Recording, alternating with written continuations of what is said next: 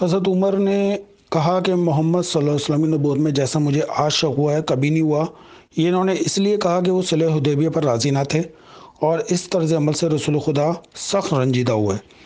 इसके बाद जंग खैबर हुई। जंग खैबर में जो है, पहले दोनों को भेजा, यानी कि एक दफ़ा लड़ाई करने के लिए हज़रत अबू बकर को और फिर उमर।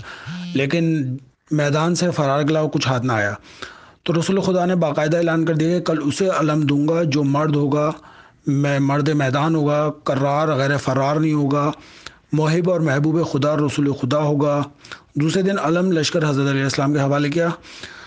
इस अलम को देने के लिए जब रसूल खुदा ने फरमाया कल मैं अलम इस्लाम ऐसे बहादुर को दूँगा जो मर्द होगा बढ़ बढ़ कर हमला करने वाला होगा, किसी हाल में मैदान जंग से ना भागेगा, खुदा रसूल का दोस्त होगा खुदा रसूल उसको दोस्त रखते होंगे और वो इस वक्त तक मैदान से ना पलटेगा, जब तक कि खुदा मंद आलम इसके दोनों हाथों में फ़तह ना दे देगा।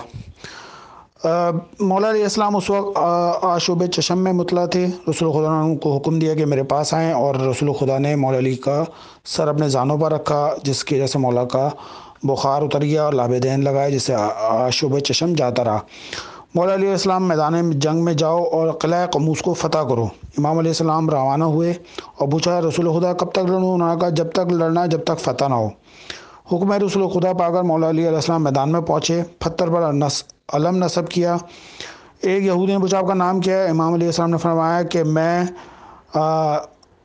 तौरात की कसम ये शख्स ज़रूर फतह करेगा, क्योंकि इस किले के फ़ातह की जो सिफ़ात तौरात में बयान हुई हैं, वो बिल्कुल दुरुस्त हैं।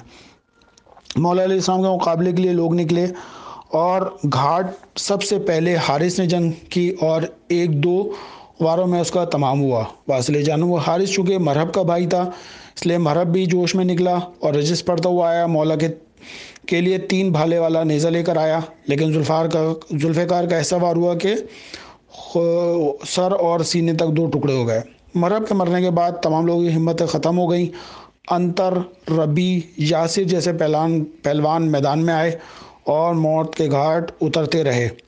आखिर में भगदड़ मच गई और जंग में एक शख्स ने आपके दोस्तों मुबारक पर एक ऐसा सुपर मारा जिससे आपकी सुबह छूट कर ज़मीन पर गिर गई। दूसरा यहूदी से लेकर भागा हज़रत को जलाल आ गया और आप आगे बढ़कर किला खैबर के आनी दरवाजे पर पहुँचे और हाथ डालकर उस किले के चौकट को उखाड़ के फेंका और उसके बाद